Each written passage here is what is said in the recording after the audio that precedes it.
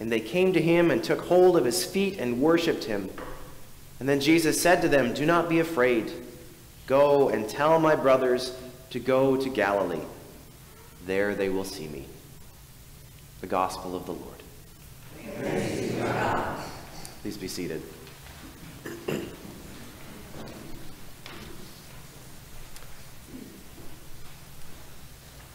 Summer of 2004, I think it was, I was a camp counselor at a Lutheran Bible camp in Idaho. And one week I had in my group this kid whose name is lost to the sands of time. We'll just call him Danny. Danny was going into fifth grade and he had never been away from home overnight, which kind of flabbergasted me, especially since here he is at this week long sleepaway Bible camp, baptism by fire. And this poor kid was beside himself with homesickness. He would just start crying at the drop of a hat, pleading with me to call his parents and have them come and pick him up and take him home. So drop off for camp was on Sunday. I don't remember how we made it through Sunday afternoon, but somehow we did. Monday was not much better. By Tuesday, he was participating a little bit more with the rest of the group, but still, he just all of a sudden the drop of a hat, start bawling and begging to go home. I tried listening to his fears. I tried being hopeful and getting him to think about all the fun stuff he was going to do this week. I tried redirecting him to things that he enjoyed. And for a while it would work. He'd be having great fun. You know, he'd forget about what was going on and be having fun with his new friends. And then all of a sudden, he'd just start crying again. I'd say, Look, you're having fun. And he'd say, I just want to go home. By Wednesday, I was out of ideas. By Wednesday, when he got sad, I got angry. Angry. I actually yelled at this poor kid. I yelled at him for being homesick. Looking back now, I can see that I wasn't really angry at him, I was angry at myself. I was angry at myself because I couldn't fix what was wrong for this kid. I said all the right things, I'd taken the correct steps, but I couldn't make him stop being homesick, and that made me angry. How silly is that? To be angry at a child for missing, it is, missing his parents. But in that moment, when I lacked control over the situation that I believed it was my job to control, I was angry. Probably because I was scared. Because I didn't know what to do next. And we don't like it when we don't know what to do next, do we? That's what I see in the story of Holy Week. I see a bunch of people who believe it is their job to be in control. Camp counselors for an entire nation, you might say. And when they lose control, they get angry Probably because they're scared. You can see it in how they react. They don't just kill Jesus, they seal him in a tomb and they set guards to watch over it. They set guards on a corpse. They're trying to regain control. It made sense in the moment, but looking back, it's as absurd as yelling at a homesick child. But by contrast, notice what God does in the story. Instead of trying to control the situation, Jesus always chooses to act in love, even when doing that means giving up control of his own situation. It seems like the people in power are the ones setting the course of events but today we find out that God still owns the story, even though God isn't pulling any of the strings. Anger, fear, violence, force, compulsion. These are the tools that we use in the story, and they all fail to stand up to that calm, patient love that God continually shows throughout. That's the love that walks out of the tomb. St. Matthew uses this dramatic scene of the earth shaking and the stone rolling away and the living guards dropping like stones to paint that picture for us. All of the power that we can wield, every power that we have at our disposal falls short when faced with the power of heaven, power of love. Because when you come right down to it, one cannot simply order a child not to be homesick, right? It's obvious to me now what I should have done back in 04. I should have, I know now that there's no way to take away what Danny was feeling. But I could have loved him through it.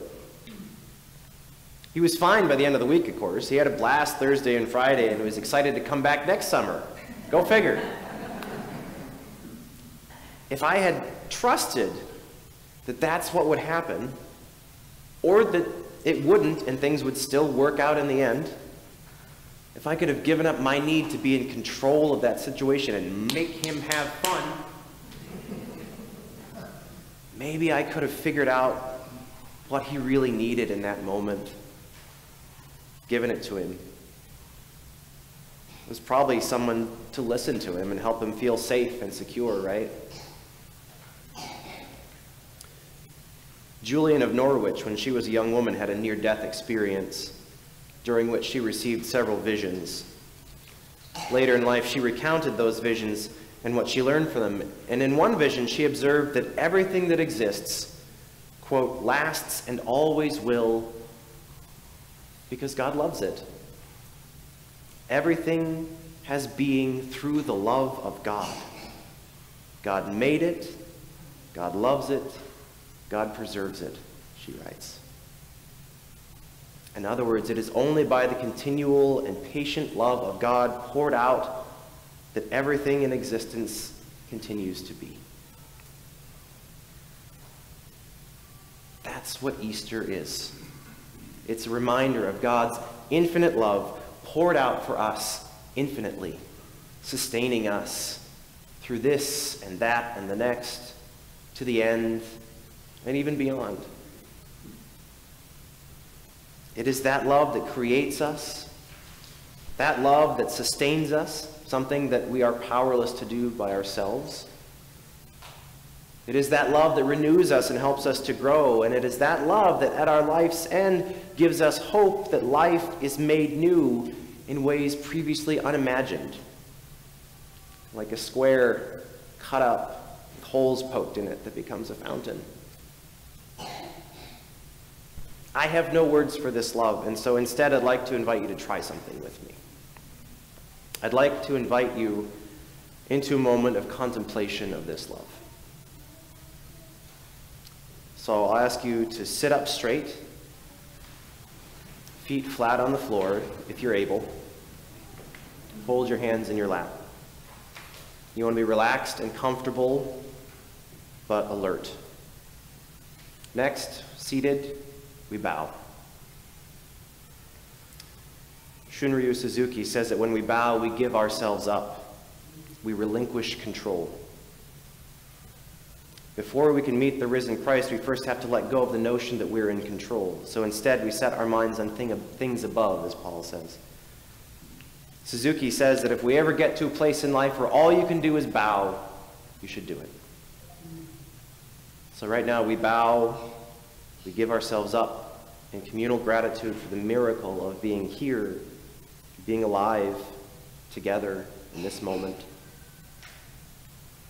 Sitting still, straight, with our eyes closed or lowered to the ground, we begin by simply becoming aware of our breathing. Breathe in, breathe out. Slow, deep, natural breaths.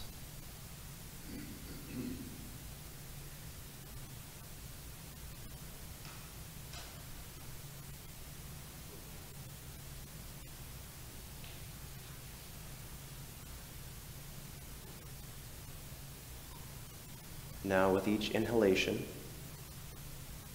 listen with a childlike sincerity to God's silent, I love you.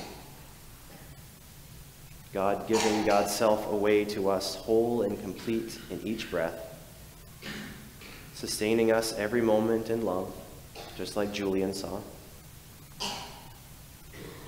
Each breath in is the infinity of God pouring itself out for us infinitely in the self donating gift of this inhalation.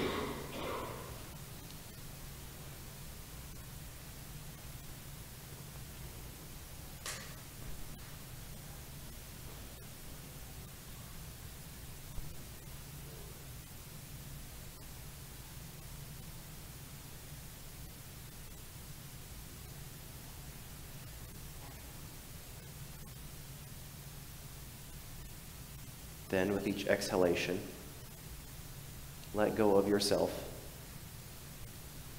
Exhale yourself in love, a self donating act, giving back the gift that God has given. With each exhalation, give yourself to this infinite love that with the next inhalation is infinitely giving itself back to you. In the reciprocity of love, our destiny, creation's destiny, is fulfilled.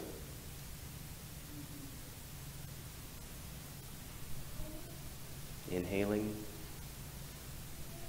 exhaling, breathing this love.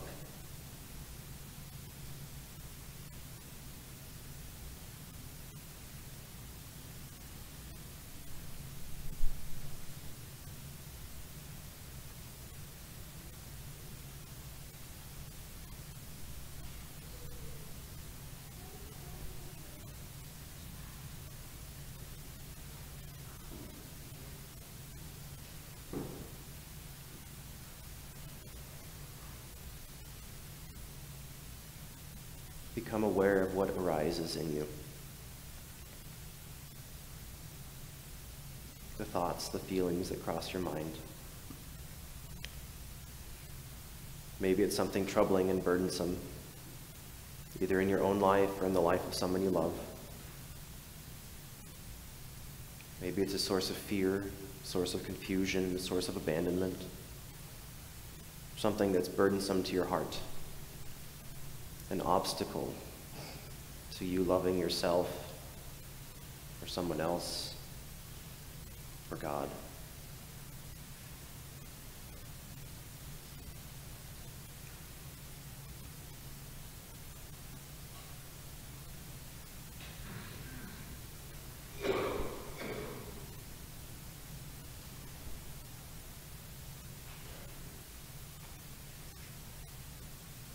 As you inhale, inhale God's self donating love, loving you through and through and through and through, burden and all, finding no more hindrance to being infinitely in love with you than the stone and the guards at Jesus' tomb.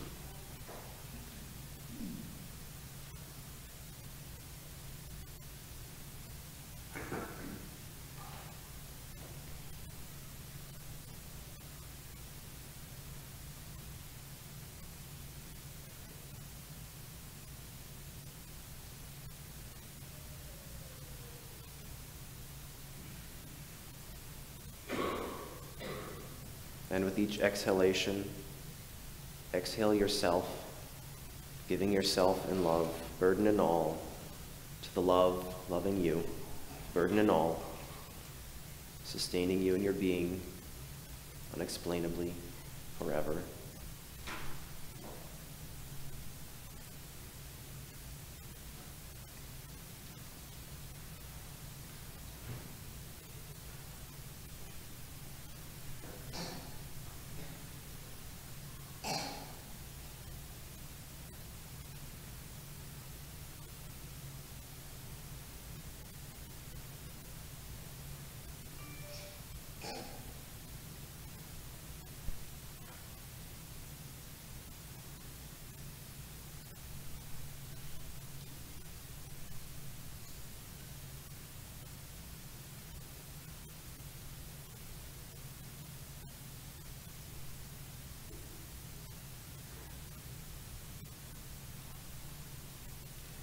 We end by asking God for the grace of returning to this place of love over and over and over again until little by little it begins to saturate everything else in your life. You start to see everything else floating in this tide of love being poured in, poured out endlessly.